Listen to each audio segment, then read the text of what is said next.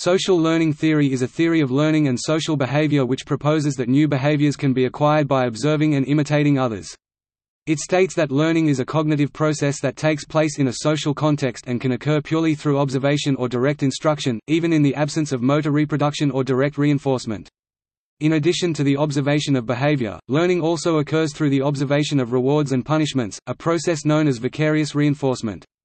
When a particular behavior is rewarded regularly, it will most likely persist. Conversely, if a particular behavior is constantly punished, it will most likely desist. The theory expands on traditional behavioral theories, in which behavior is governed solely by reinforcements, by placing emphasis on the important roles of various internal processes in the learning individual.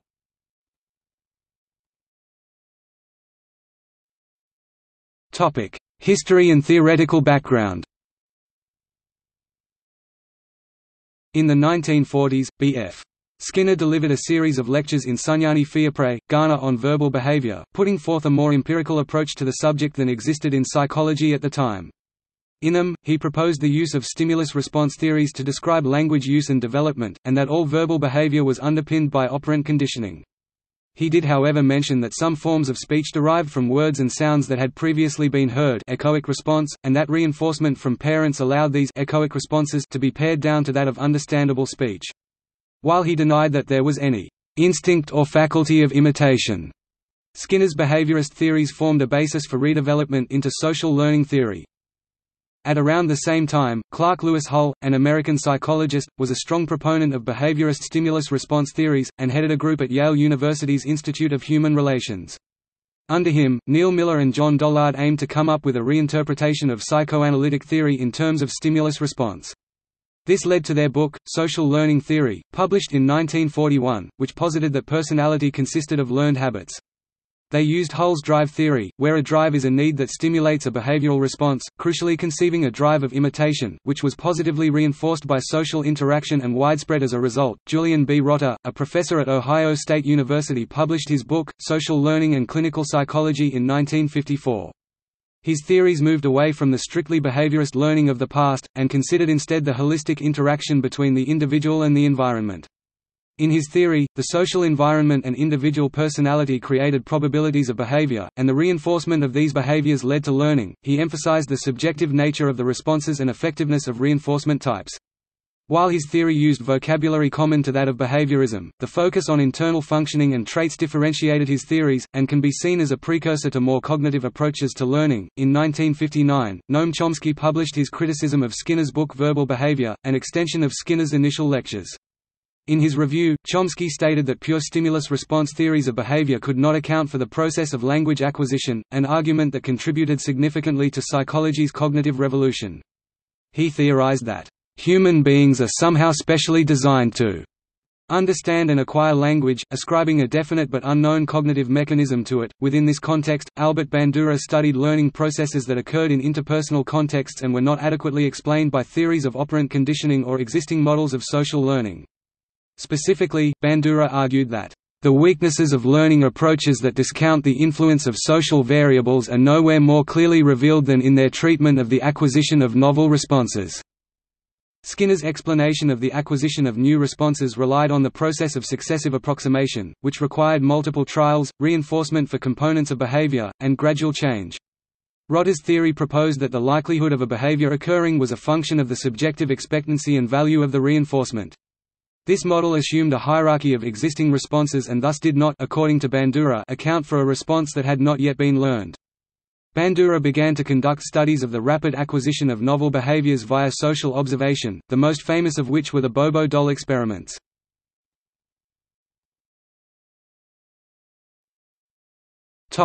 Theory Social learning theory integrated behavioral and cognitive theories of learning in order to provide a comprehensive model that could account for the wide range of learning experiences that occur in the real world. As initially outlined by Bandura and Walters in 1963 and further detailed in 1977, key tenets of social learning theory are as follows Learning is not purely behavioral, rather, it is a cognitive process that takes place in a social context. Learning can occur by observing a behavior and by observing the consequences of the behavior vicarious reinforcement. Learning involves observation, extraction of information from those observations, and making decisions about the performance of the behavior observational learning or modeling. Thus, learning can occur without an observable change in behavior. Reinforcement plays a role in learning but is not entirely responsible for learning. The learner is not a passive recipient of information. Cognition, environment, and behavior all mutually influence each other reciprocal determinism.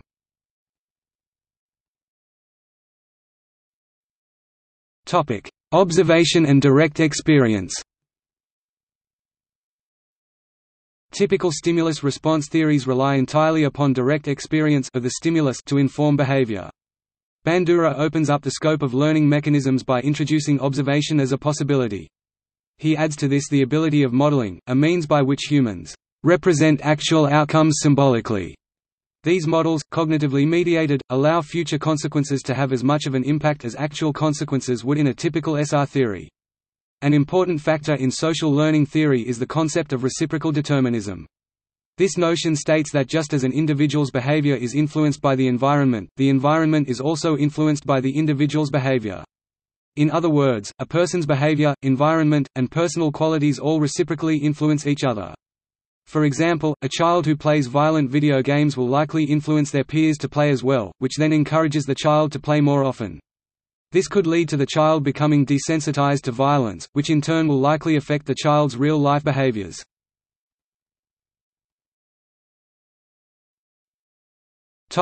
Modeling and underlying cognitive processes. Social learning theory draws heavily on the concept of modeling as described above. Bandura outlined three types of modeling stimuli. Live models, where a person is demonstrating the desired behavior. Verbal instruction, in which an individual describes the desired behavior in detail and instructs the participant in how to engage in the behavior. Symbolic, in which modeling occurs by means of the media, including movies, television, internet, literature, and radio. Stimuli can be either real or fictional characters. Exactly what information is gleaned from observation is influenced by the type of model, as well as a series of cognitive and behavioral processes, including attention. In order to learn, observers must attend to the modeled behavior. Experimental studies have found that awareness of what is being learned and the mechanisms of reinforcement greatly boosts learning outcomes.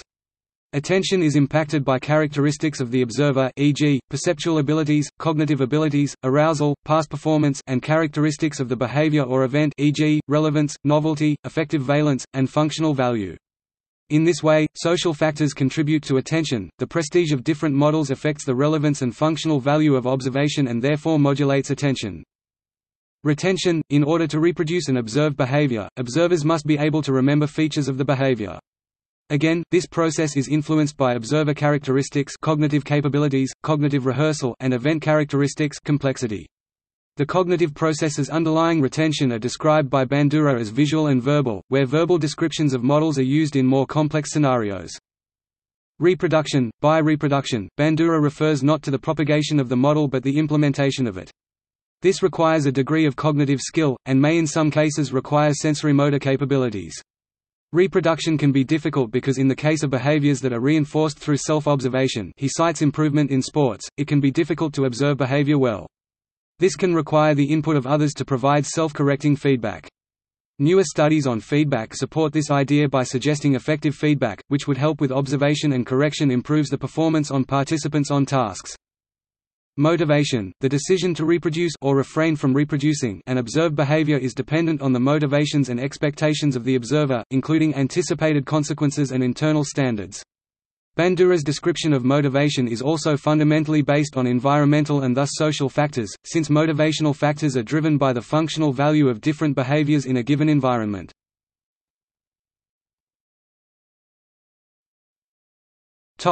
Evolution and cultural intelligence Social learning theory has more recently applied alongside and been used to justify the theory of cultural intelligence. The cultural intelligence hypothesis argues that humans possess a set of specific behaviors and skills that allow them to exchange information culturally. This hinges on a model of human learning where social learning is key, and that humans have selected for traits that maximize opportunities for social learning. The theory builds on extant social theory by suggesting that social learning abilities, like Bandura's cognitive processes required for modeling, correlate with other forms of intelligence and learning. Experimental evidence has shown that humans over-imitate behavior compared to chimpanzees, lending credence to the idea that we have selected for methods of social learning. Some academics have suggested that our ability to learn socially and culturally have led to our success as a species.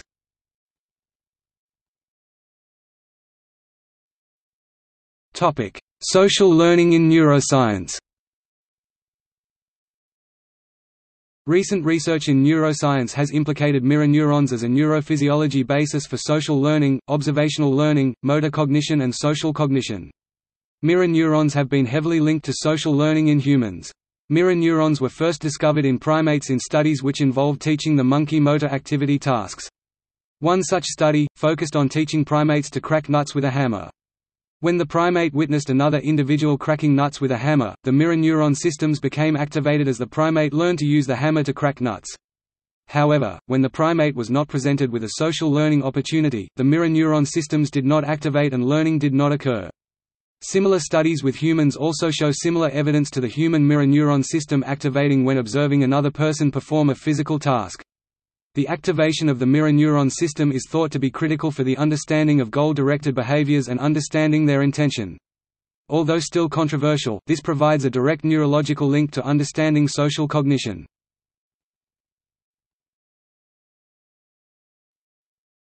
Topic: Applications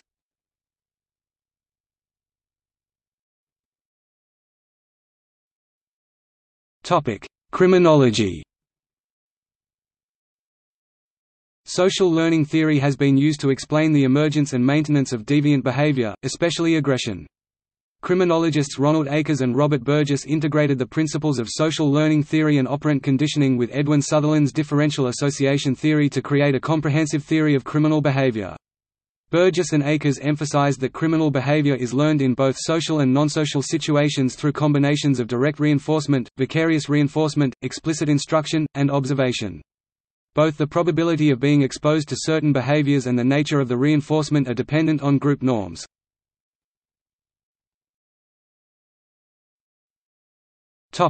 Developmental psychology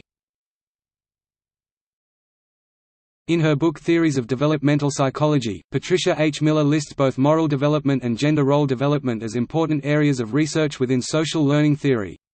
Social learning theorists emphasize observable behavior regarding the acquisition of these two skills. For gender role development, the same-sex parent provides only one of many models from which the individual learns gender roles. Social learning theory also emphasizes the variable nature of moral development due to the changing social circumstances of each decision. The particular factors the child thinks are important vary from situation to situation, depending on variables such as which situational factors are operating, which causes are most salient, and what the child processes cognitively. Moral judgments involve a complex process of considering and weighing various criteria in a given social situation. For social learning theory, gender development has to do with the interactions of numerous social factors, involving all the interactions the individual encounters. For social learning theory, biological factors are important but take a back seat to the importance of learned, observable behavior. Because of the highly gendered society in which an individual might develop, individuals begin to distinguish people by gender even as infants. Bandura's account of gender allows for more than cognitive factors in predicting gendered behavior. For Bandura, motivational factors and a broad network of social influences determine if, when, and where gender knowledge is expressed.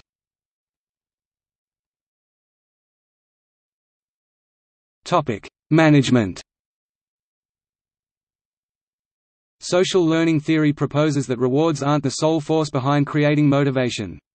Thoughts, beliefs, morals, and feedback all help to motivate us. Three other ways in which we learn are vicarious experience, verbal persuasion, and physiological states. Modeling, or the scenario in which we see someone's behaviors and adopt them as our own, aid the learning process as well as mental states and the cognitive process. Citation, more description Media violence. Principles of social learning theory have been applied extensively to the study of media violence.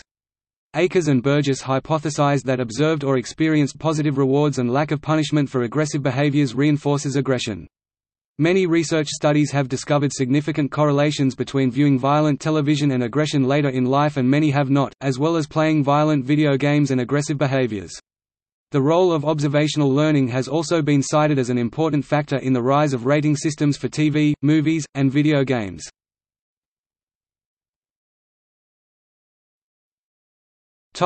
Creating social change with media Entertainment education in the form of a telenovela or soap opera can help viewers learn socially desired behaviors in a positive way from models portrayed in these programs. The telenovela format allows the creators to incorporate elements that can bring a desired response. These elements may include music, actors, melodrama, props or costumes. Entertainment education is symbolic modeling and has a formula with three sets of characters with the cultural value that is to be examined is determined ahead of time.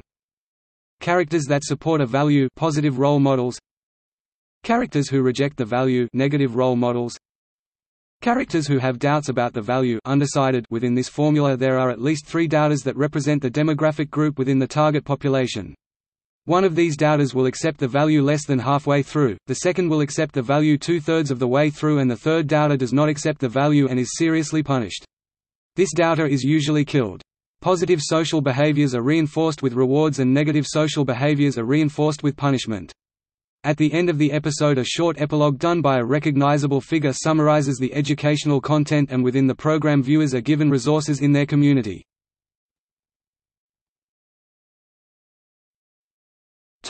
Applications for social change Through observational learning a model can bring forth new ways of thinking and behaving. With a modeled emotional experience, the observer shows an affinity towards people, places and objects. They dislike what the models do not like and like what the models care about. Television helps contribute to how viewers see their social reality. Media representations gain influence because people's social constructions of reality depend heavily on what they see, hear and read rather than what they experience directly.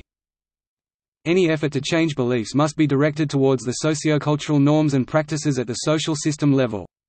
Before a drama is developed, extensive research is done through focus groups that represent the different sectors within a culture. Participants are asked what problems in society concern them most and what obstacles they face, giving creators of the drama culturally relevant information to incorporate into the show. The pioneer of entertainment education is Miguel Sabido, a creative writer, producer, director in the 1970s at the Mexican national television system, Televisa. Sabido spent eight years working on a method that would create social change and is known as the Sabido method. He credits Albert Bandura's social learning theory, the drama theory of Eric Bentley, Carl Jung's theory of archetypes, MacLean's triune brain theory and Sabido's own soap opera theory for influences his method. Sabido's method has been used worldwide to address social issues such as national literacy, population growth and health concerns such as HIV.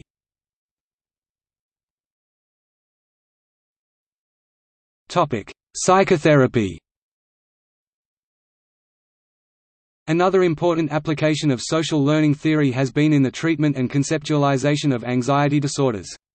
The classical conditioning approach to anxiety disorders, which spurred the development of behavioral therapy and is considered by some to be the first modern theory of anxiety, began to lose steam in the late 1970s as researchers began to question its underlying assumptions. For example, the classical conditioning approach holds that pathological fear and anxiety are developed through direct learning, however, many people with anxiety disorders cannot recall a traumatic conditioning event, in which the feared stimulus was experienced in close temporal and spatial contiguity with an intrinsically aversive stimulus. Social learning theory helped salvage learning approaches to anxiety disorders by providing additional mechanisms beyond classical conditioning that could account for the acquisition of fear. For example, social learning theory suggests that a child could acquire a fear of snakes by observing a family member express fear in response to snakes. Alternatively, the child could learn the associations between snakes and unpleasant bites through direct experience, without developing excessive fear, but could later learn from others that snakes can have deadly venom, leading to a re-evaluation of the dangerousness of snake bites, and accordingly, a more exaggerated fear response to snakes.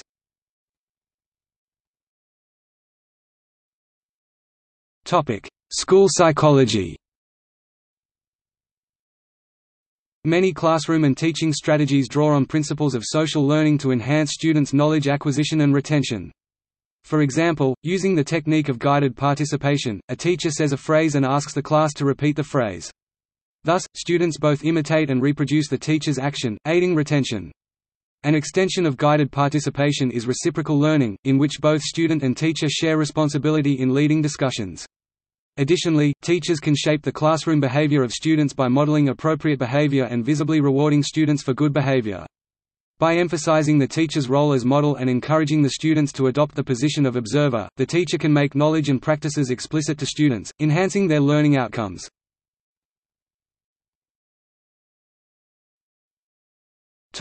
Social learning algorithm for computer optimization In modern field of computational intelligence, the social learning theory is adopted to develop a new computer optimization algorithm, the social learning algorithm. Emulating the observational learning and reinforcement behaviors, a virtual society deployed in the algorithm seeks the strongest behavioral patterns with the best outcome. This corresponds to searching for the best solution in solving optimization problems. Compared with other bio-inspired global optimization algorithms that mimic natural evolution or animal behaviors, the social learning algorithm has its prominent advantages. First, since the self-improvement through learning is more direct and rapid than the evolution process, the social learning algorithm can improve the efficiency of the algorithms mimicking natural evolution.